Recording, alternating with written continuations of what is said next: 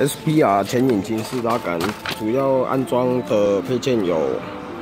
左侧固定座、右侧固定座，它的样式不同。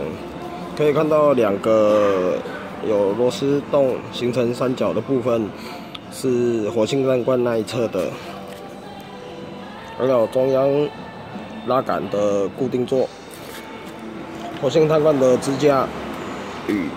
这个支架来做结合，再锁回去。另外，在面对车头的左侧固定铁片，也就是左侧的固定座，有副六角的螺丝，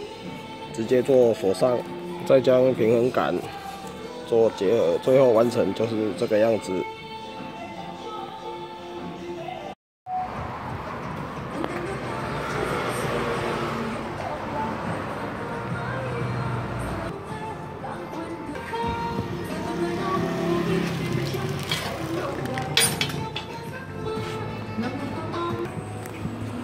左侧的固定架与活性炭罐做重叠来做固定，另外中央的部分以跟导火墙锁在一起。